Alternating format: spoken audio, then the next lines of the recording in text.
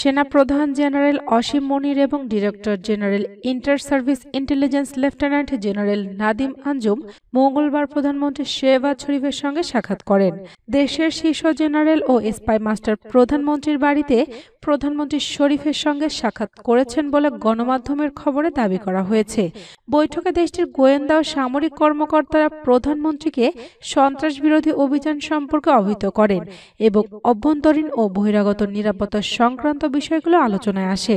প্রধানমন্ত্রী হাউস এবং সেনাবাহিনীর মিডিয়া উইং উচ্চ পর্যায়ের বৈঠক সম্পর্কে কোনো প্রেস বিজ্ঞপ্তি শেয়ার করেনি এবং শুধুমাত্র মূলধারার মিডিয়া তাদের শুটের বরাত দিয়ে এই উন্নয়নের খবর দিয়েছে।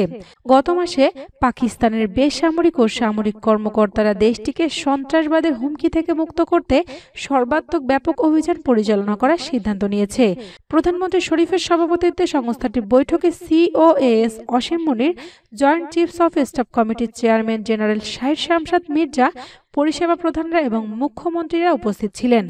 আধিকারিকরা নতুন শক্তি এবং দৃঢ়তার সাথে দেশটিকে সন্ত্রাসবাদের হুমকি থেকে পরিত্রাণ পেতে সর্বাত্মক ব্যাপক অভিযান শুরু করার সিদ্ধান্ত নিয়েছে। সমস্ত অংশগ্রহণকারীরা জনগণের জন্য ত্রাণকে কেন্দ্র করে ব্যাপক জাতীয় নিরাপত্তার প্রয়োজনীয়তার উপর জোর দিয়েছেন। এদিকে পাকিস্তানের বেলুচিস্তান প্রদেশে প্রায় ছিয়াত্তরটি স্কুল দখল করে সেখানে সামরিক পোস্ট স্থাপন করেছে সেনাবাহিনী। বেলুচিস্তান ন্যাশনাল মুভমেন্টের প্রতিবেদনে এ তথ্য উঠে এসেছে।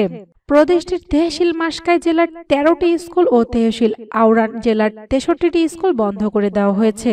বিএনএম বলছে, সেনাবাহিনীর এসব কর্মকাণ্ডের ফলে শিশুদের শিক্ষা কার্যক্রম নষ্ট হচ্ছে। তারা তাদের মৌলিক অধিকার থেকে বঞ্চিত হচ্ছে। শিশুদের মৌলিক অধিকার ব্যাহতের ব্যাপারে উদ্বেগ প্রকাশ করে আন্তর্জাতিক সংস্থাগুলোকে এগিয়ে আসার আহ্বান জানায় বিএনএম। বিএনএম এর প্রতিবেদনে বলা হয়, শিক্ষা হচ্ছে মানুষের মৌলিক চাহিদা। দীর্ঘদিন শিক্ষার্জন থেকে দূরে থাকলে এ অঞ্চলের শিশুদের উপর এর খারাপ প্রভাব পড়বে। আন্তর্জাতিক সম্প্রদায়ের উচিত এর বিরুদ্ধে দ্রুত যথাযথ পদক্ষেপ নেওয়া। এদিকে পাকিস্তান সরকার পাঞ্জাব প্রদেশের নির্বাচন বানচাল করতে চাইলে তা কঠোর হাতে দমন করার হুঁশিয়ারি উচ্চারণ করেছেন সাবেক প্রধানমন্ত্রী ও তেহরিক ইনসাফ দলের প্রধান ইমরান খান। সরকারের পাশাপাশি তিনি দেশটির সেনাবাহিনীকেও সতর্ক করেছেন এ ব্যাপারে। ইমরান খান লাহোরের দলীয় এক সমাবেশে বুলেট প্রুফ গাড়িতে বসে দেওয়া এক ভাষণে এসব কথা বলেছেন। পিটে প্রধান বলেন, পাকিস্তানের সুপ্রিম কোর্ট আগামী চোদ্দই মে পাঞ্জাব প্রদেশের নির্বাচন অনুষ্ঠানের আদেশ দিয়েছেন। কোনোভাবেই যাতে এ নির্বাচন বানচাল করা না হয়, এ ব্যাপারে দেশটির সরকারকে সাবধান করে দেন ইমরান খান। অন্যথায় আবারও রাজপথ দখলের হুঁশিয়ারি দেন তিনি।